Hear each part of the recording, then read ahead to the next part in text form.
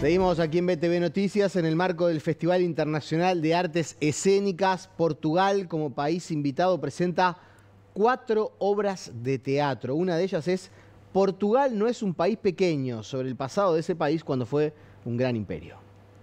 La dictadura fascista que tuvo Portugal, la más larga de Europa, siempre inculcó que la ocupación fue generosa con los locatarios. Eso ha sido un slogan de la dictadura fascista portuguesa, que Portugal no era un país pequeño y, había un mapa de Portugal con todas las colonias que Portugal tenía en aquel momento, Angola, Moçambique, Guiné-Bissau, Cabo Verde. Ese, e, e, mapa se ponía encima del mapa europeu para mostrar que Portugal tinha o mesmo tamanho que França, Alemanha, uh, Itália, esses países assim. E, e, neste, neste um, espetáculo, nesta obra, o que queremos fazer é pensar a nossa, nossa história colonial. que hay ahí que nos, no, no, no, sabemos, que hay de la nuestra historia, de nuestro pasado que nos no queremos saber. La familia del actor Andrea Malio vivió en Mozambique y vio de cerca cómo fue el vínculo entre los portugueses y los africanos y prefirieron callar como la mayoría de la sociedad portuguesa.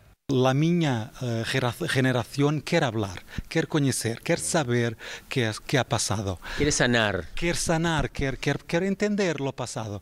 Y, y, y, entonces yo pienso que nosotros hacemos parte de un movimiento que hay en los artistas portugueses que queremos saber de facto qué aconteceu con la dictadura fascista, qué aconteceu en el colonialismo portugués y por qué se ha pasado. ¿Qué crimes cometieron nuestros padres? Queremos saber. Se trata de un teatro documental con actuación, proyección en una gran pantalla de testimonios de personas reales que padecieron la ocupación portuguesa y todo dicho con humor. Hay también música en vivo. música que vamos a cantar tiene músicas que vienen de la, de la guerra, de, de um, cartas que eram escritas por soldados a sus uh, novias e, e hacemos música com essas, uh, com essas cartas.